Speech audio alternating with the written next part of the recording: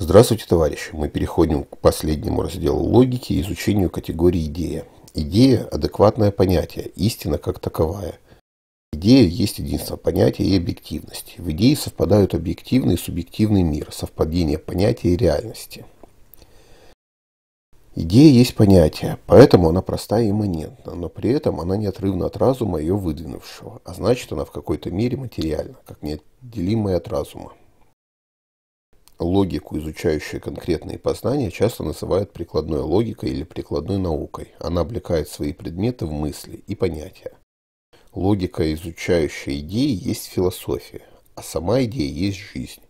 Жизнь рассматривается как первое – жизнь индивидуума, второе – жизненный процесс, третье – процесс рода.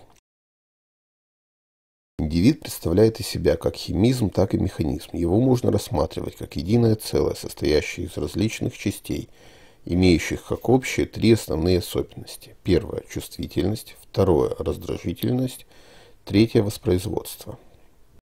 Получается, что индивид хоть и является единичностью, но через собственное воспроизводство переходит в множество.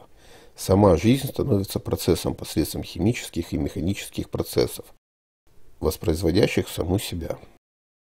Раз уж мы решили использовать яблоки в роли объекта для применения диалектики, не будем менять правила в ходе игры, хотя категория жизни и идеи относится скорее к людям и их мышлению. Тем не менее, речь идет о живых организмах, а яблоня таки является живым существом. Яблоко имеет как химический состав из сахаров и углеводов, так и механический состав из огрызка, мякоти, кожуры и плодоножки но при этом оно единое целое, имеющее чувствительность, например, чувствительность к цвету и температуре. Эти раздражители заставляют яблоко спеть и наливаться соками. В нем образуются семена для размножения. Живой субъект противопоставляет себя окружающему неживому миру, как идея собственного существования.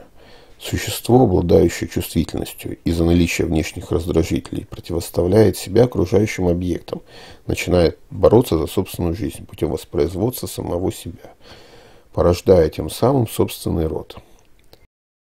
Живое яблоко не находится в перманентном состоянии, но все время живет, переходя от стадии завязи к стадии гнилушки. Оно противопоставляет себя окружающему миру посредством защитного слоя, называемого кожурой. Этот слой не дает пробиться вовнутрь всевозможным микробам, а внутри плода идет жизнь, в результате которой рождаются семена, источник для продолжения существования яблок на земле.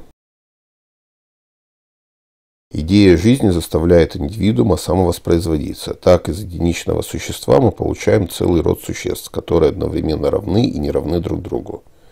Рождение, жизнь и смерть отдельного субъекта оставляет некий дух погибшего индивидуума, который остался существовать в памяти потомков, порождая тем самым идею познания.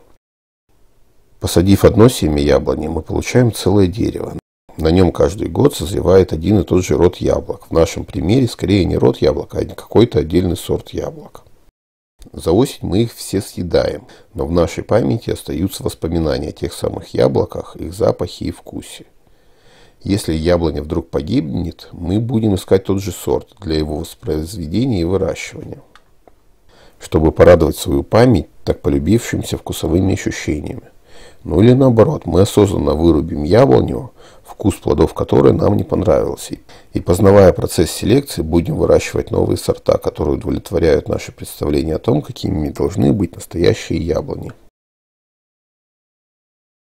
Спасибо за внимание.